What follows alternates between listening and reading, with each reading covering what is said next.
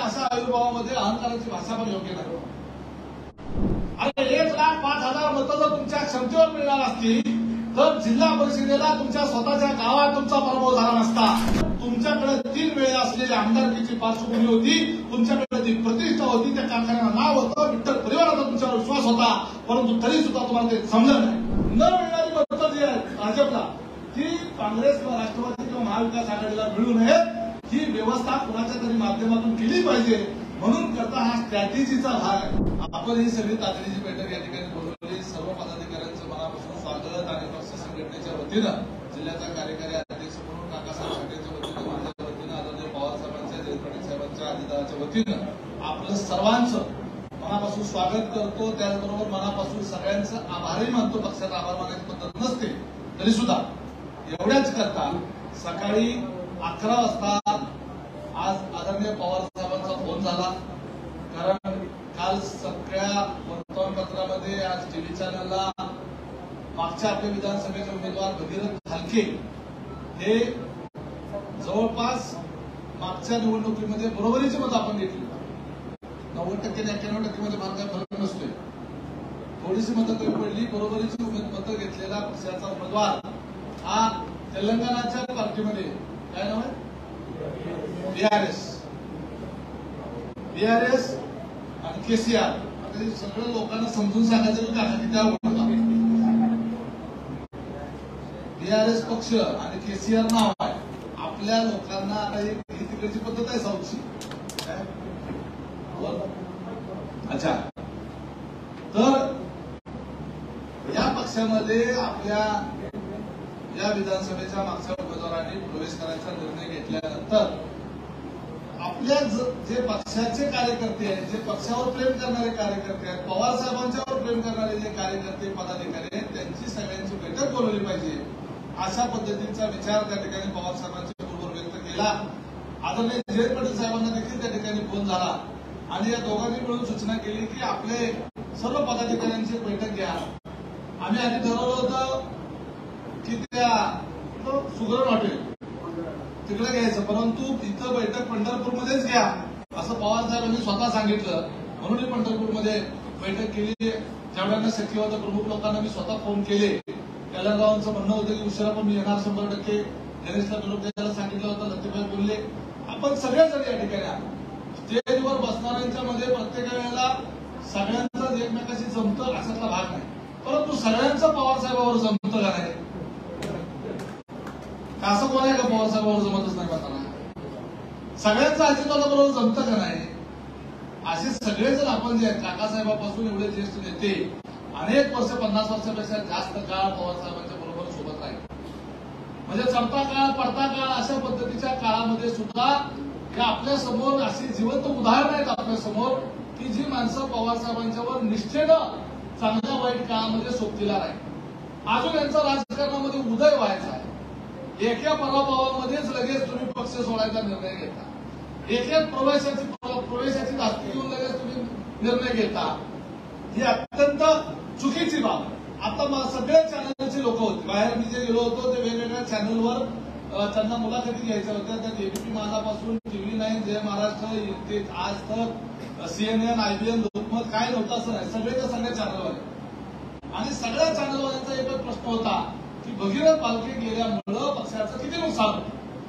मी त्यांना सांगितलं की पक्षामधला एखादा सर्वसामान्य कार्यकर्ता जरी पक्ष सोडून गेला तरी तेवढ्या प्रमाणामध्ये पक्षाचं नुकसान हे होतच असतं. त्यामुळं आम्हाला काही फरक पडत नाही अशा आम्हाला काही फरक पडत नाही अशा आयुर्भावामध्ये अहंकाराची भाषा पण योग्य नाही. एखादा कार्यकर्ता पक्ष सोडून जातो त्यावेळेला त्या परिवारामध्ये थोडंसं दुःख होतच असतं त्यामुळे भगीरथ भालके हे जर पक्ष सोडून जात आहेत तर ते निश्चितपणे आपल्याला ते दुःखदायक आहे.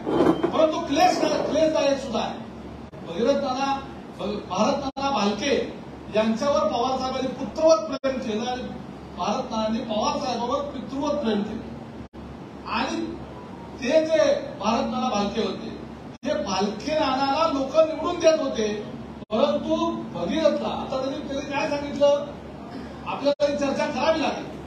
त्यांनी सगळीकडे मुलाखती देत असताना सांगितलं की एक लाख पाच हजार मतं ही माझ्या एकट्याच्या जीवावर मिळाली पक्षाचा त्याच्यामध्ये काही संबंध नाही अशा पद्धतीची मुलाखत लाख पाच हजार मतं जर तुमच्या क्षमतेवर मिळणार असतील तर जिल्हा परिषदेला तुमच्या स्वतःच्या गावात तुमचा पराभव झाला नसता. त्या पंढरपूर मंडळाला मतदारसंघातला जो मतदार आहे तो पवार सरावर प्रेम करणारा मतदार आहे. एक लाख पाच हजारची मतं पडली. अजितदादा पवार असतील जयंत पाटील असतील ते स्वतःच्या मतदारसंघात स्वतःचा प्रचार करायला जेवढे फिरले नाहीत. ते तुम्हाला निवडून आणण्याच्या करता गल्ली बोळामध्ये तिथं फिरले. ज्या गल्लीमध्ये जाता सुद्धा येत नव्हतं चालत गाडी जात होती तिथं चालत गती उडवत त्या ठिकाणी हा अजितदादांनी तुमच्यासाठी प्रचार केला. याची जाणीव आपण ठेवली पाहिजे. आमच्यासाठी कोण सगळ्यांना कोण झटलं याची जाणीव तुम्ही आम्ही सगळ्यांनी ठेवली पाहिजे. तुमची ओळख म्हणून काय आहे? अरे भारत काळात जिवंत असतात विद्यमान आमदार असताना स्वतःच्या गावामध्ये जिल्हा परिषदेला लोकांनी तुम्हाला मतं दिली नाही तिथं तुम्हाला नाकारलं. आणि विधानसभेच्या निवडणुकीमध्ये एक लाख पाच हजार मतं आपल्याला माझ्या जीवावर मिळाली म्हणून सांगत असताना हा कृतज्ञपणा आहे. तुम्हाला कुठल्या पक्षाला जायचं तर खुशाल जा सोडायचं असेल तर खुशाल सोडा. परंतु पवार साहेबांचं योगदान अजितदादा पवार यांचं योगदान जयंत पाटील साहेबांचं योगदान नाकारून जर जाणार असाल तर त्याचा आम्हाला विरोध करावा लागेल. ते आम्हाला खोडून काढावं लागेल. आरक्षणाचा मानणारा एक वेगळा वर्ग होता हे निश्चितपणे परंतु त्यांच्यामध्ये ती धडाडी होती. त्यांच्यामध्ये ती धमक होती.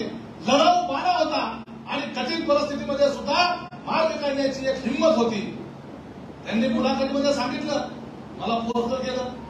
माझे वडील गेल्यानंतर आमच्या परिवाराकडे दुर्लक्ष केलं. निवडणुकीत मला त्या विठ्ठलच्या विठ्ठल कारखान्याच्या करता आम्हाला मदत केली नाही. अशी रणगाडी त्यांनी मीडियाच्या समोर सांगितली. आणि आज या कारणामुळे मी पक्ष बदलतोय असं सांगितलं. जी कारणं त्यांनी पक्ष सोडताना सांगितली त्या कारणाचा प्रतिकार आपल्याला करावा लागेल. आता संदीपनं सांगितलं पवार साहेबांच्यामुळे दोन हजार वीस साली या विठ्ठल कारखान्याला साठ कोटी रुपयांची मदत झाली. त्या साठ कोटी मधले सहा कोटी रुपये सुद्धा त्या कारखान्याच्या पगारी देण्याच्या करता वापरले नाहीत. त्या शेतकऱ्यांचे पैसे देण्याच्या करता वापरले नाहीत. पैसे कुठे गेले? हा नंतरचा प्रश्न आहे. यांच्या हातामध्ये आलेलं भारत नाना गेल्यानंतर भारत नाना गेल्यानंतर कुणाच्या हातामध्ये कारखाना आला? यांच्या हातामध्ये आला रडत गाणी नुसती कारखाना बंद झाला ती चालू करण्याची जर तुमच्यामध्ये हिंमत तुम्ही दाखवायला पाहिजे होती. आज अभिजित पाटलांना कुठली मदत केली कल्याणराव काळे त्यांच्या स्वतःच्या हिमतीवर त्यांना काहीच मदत झाली नाही. मला माहिती आहे दादाच्या समोर ते आले होते ते बारा कारखाने का नऊ कारखाने भाजपचे फक्त लोकांना मदत करणार होते यांनाही ती मदतीची गरज होती फक्त भाजपच्या कारखान्याला मदत करायला लागले होते हे कल्याणराव आले परंतु ती त्यांना मदत होऊ शकली नाही आपलं सरकार नाही मग हारले का ते आघाड घेतली का लढण्याची वृत्ती पाहिजे आणि ती लढाऊ वृत्ती नसल्यामुळं रडत फक्त बसले की आम्हाला हे मदत करत नाही आम्हाला बँक मदत करत नाही ते अनास्कर मदत करत नाही साहेबा साहेबांनी आम्हाला मदत केली नाही अजितदादांनी आम्हाला मदत केली नाही तुमच्यामध्ये हिंमत असायला पाहिजे मग आता कसं आहे कारखान्याच्या सगळ्या लोकांच्या पगारी झाल्या कारखान्याला सगळ्या जिल्ह्यामध्ये चांगल्या पद्धतीचा भाव आता कसं काय देता आला आता कसं काय सगळ्या राहिलेली देणी सगळी देता आली हे सगळं शक्य होतं त्यांनाही ते शक्य होतं उलट तुमच्याकडे उलट तुमच्याकडे तीन वेळा असलेली आमदारकीची पार्श्वभूमी होती. तुमच्याकडे जी प्रतिष्ठा होती त्या कारखान्याला नाव होतं. विठ्ठल परिवाराचा तुमच्यावर विश्वास होता. परंतु तरी सुद्धा तुम्हाला ते समजलं नाही. तुमच्यात ती हिंमत नाही या मतदारसंघाच्या लोकांनी आधीच ओळखलेलं होतं आणि म्हणून करता तुमचा जिल्हा परिषदेला पराभव झाला त्यामुळे कुणाच्यावर तरी खापरवर कुणावर तरी ढिकूळ ठेवून तिकडे जाऊ नका आता मला माहीत नाही की त्या केसीआर यांच्या बरोबर हे कुठल्या भाषेत बोलले ते तमिळ बोलतात का कन्नडी बोलतात आम्हाला अजून माहीत नाही कुठली भाषा असते तेलुगू ते असं म्हटलं, ती तमिळ असते, तमिळ भाषा कुठली आहे तेलुगू भाषा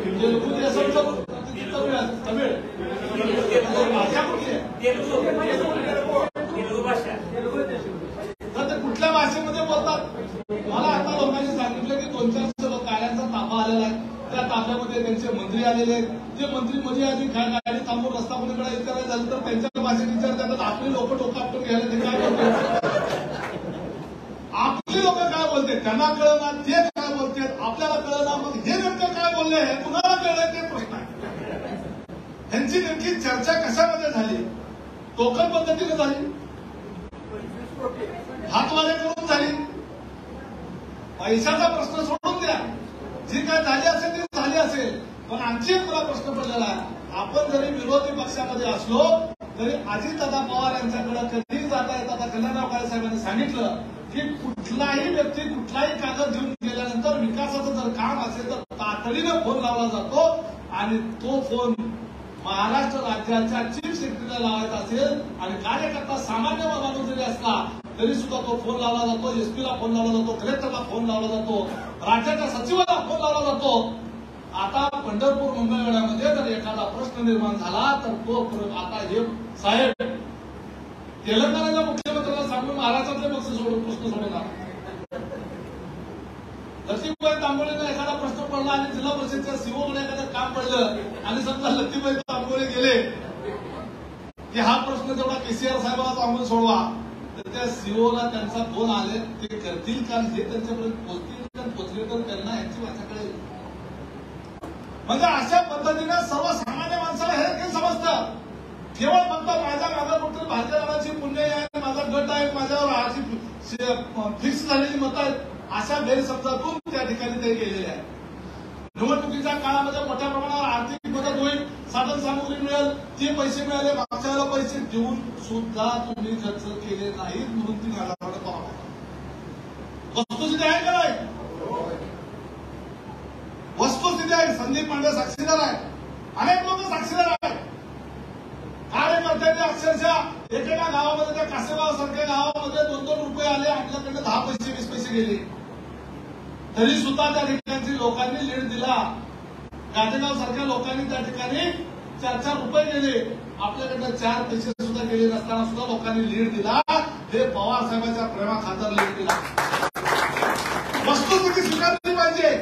त्यामुळे ह्या मतदारसंघामध्ये पवार साहेबांचा विचाराचा जवळपास ऐंशी ते नव्वद हजार मतदार आहे आणि बाकी मग आपल्या कार्यकर्त्याच्या व्यक्तिगत मेहनतीवर आपला तयार होणारा मतदार.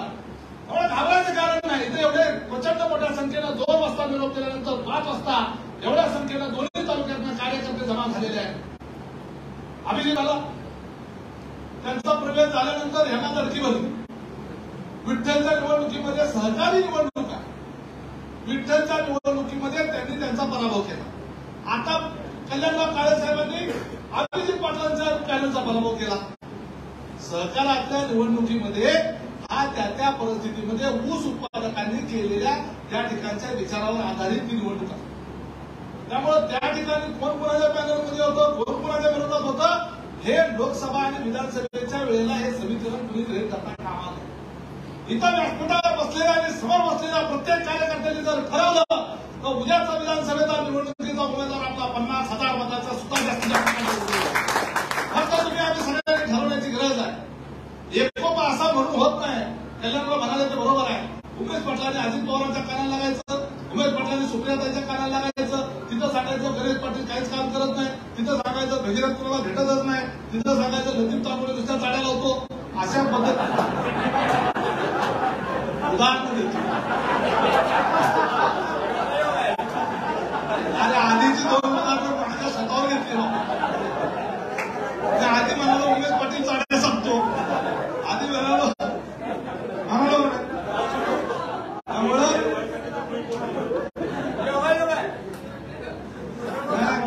योगायोगानं कधी कधी टोपी अशी फिट बसती त्यावेळेला असा तयार होतो तर ती तशी फिट बसणार नाहीये लतीबाईच्या बाबतीमध्ये वस्तुस्थिती मात्र खरी सांगतो नेत्यांच्या कानाला लागणं आणि नेत्यांच्या कानामध्ये खरी वस्तुस्थिती सांगणं.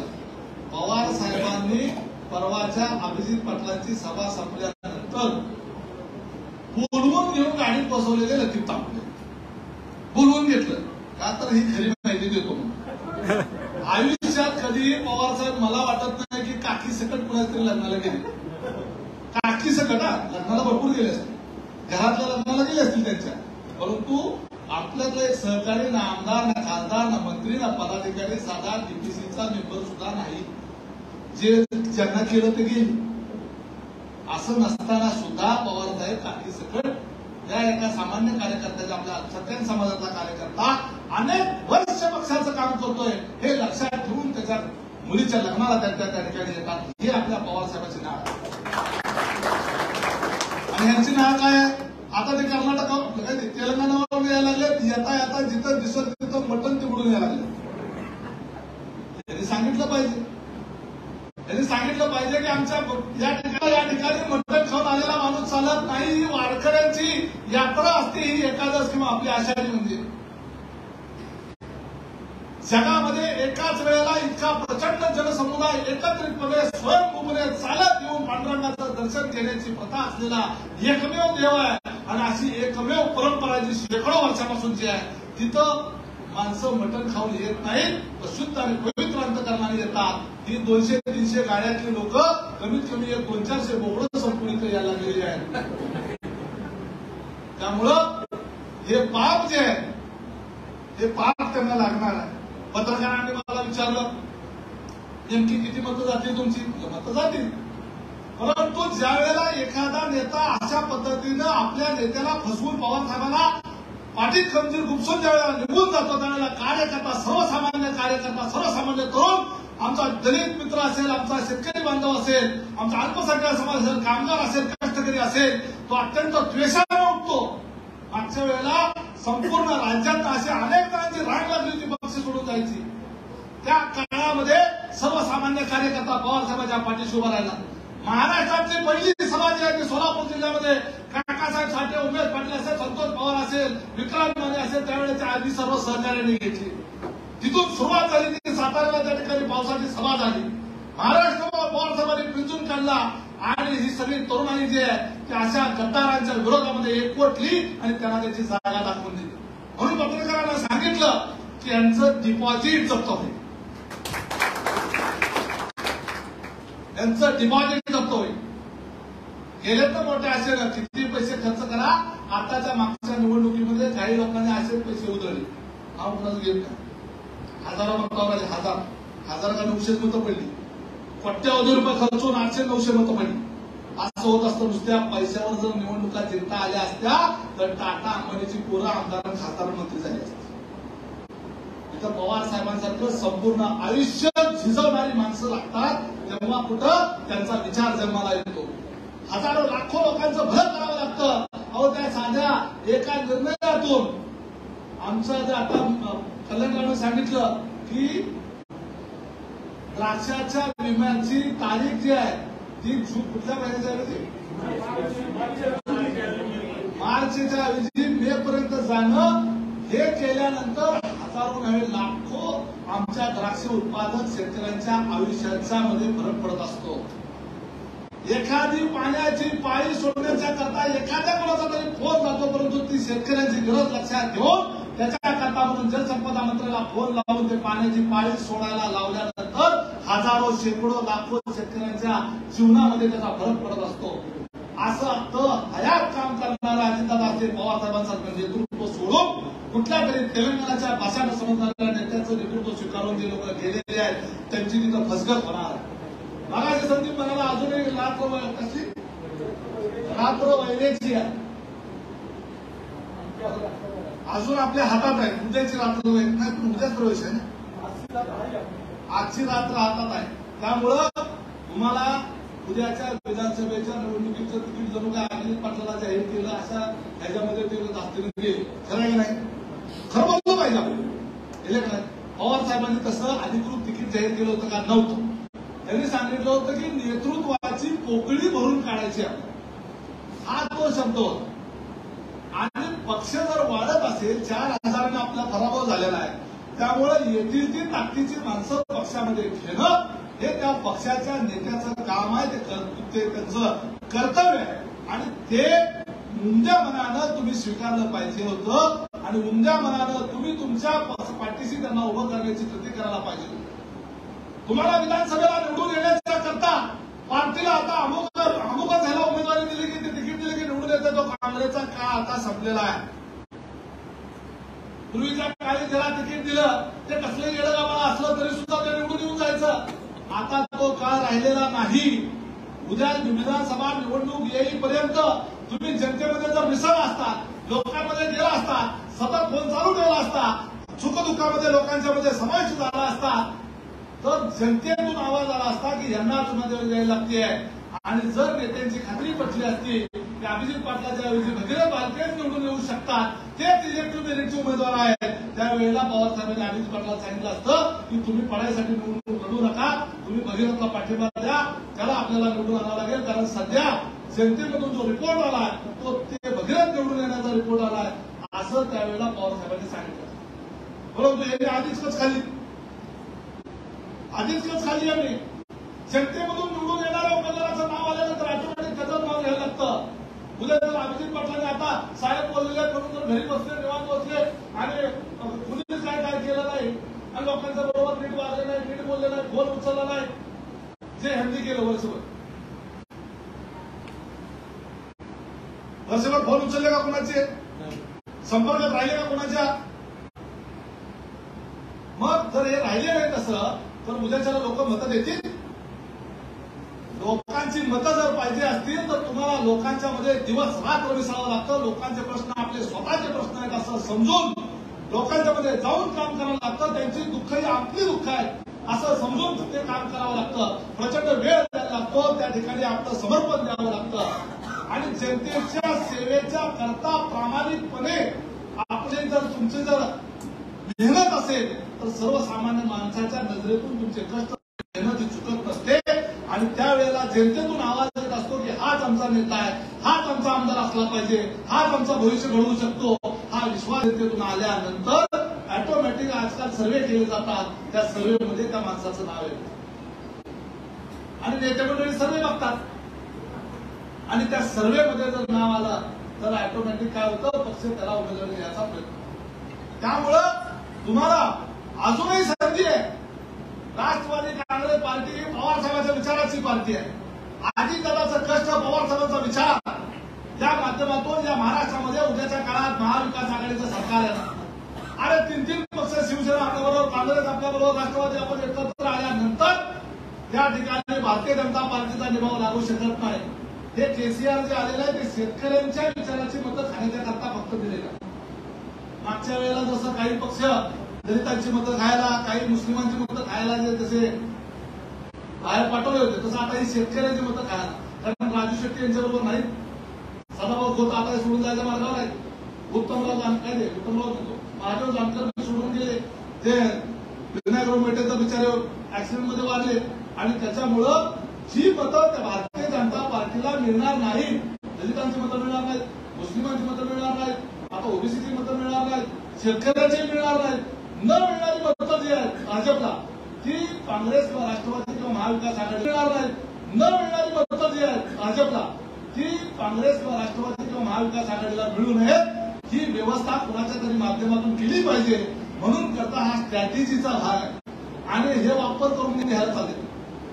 त्यांचा फक्त वापर मतं खाण्यापुरता तर आपण यासाठी सावध केलं पाहिजे आपण कार्यकर्त्याला सावध केलं पाहिजे आणि या माध्यमातून पवार साहेबांच्या पर्यंत महाराष्ट्रामध्ये संदेश संदेश गेला पाहिजे की अशा पद्धतीचे नेते कार्यकर्ते सोडून गेले तरी सुद्धा सर्वसामान्य कार्यकर्ता हा पवार साहेबांची साथ सोडत नाही.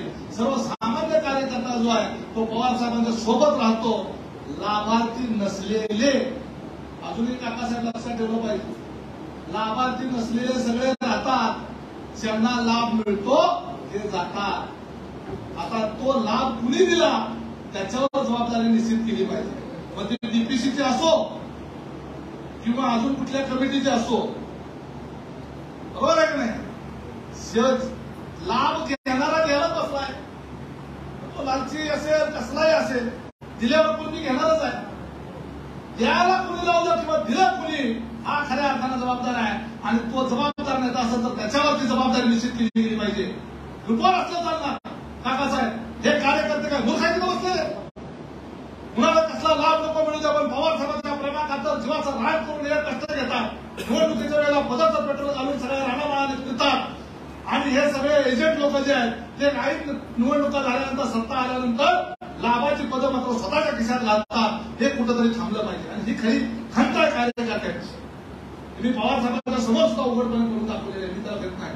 कारण मी कायम सांगतो की मी अशा लाभार्थी नसलेल्या कार्यकर्त्यांचा प्रतिनिधी आहे. कारण माझ्याकडे कसलाच लाभार्थी पक्षाचंच काम करतोय आजपर्यंत. कुठलंही लाभाचं पद आजपर्यंत घेतलेलं नाहीये.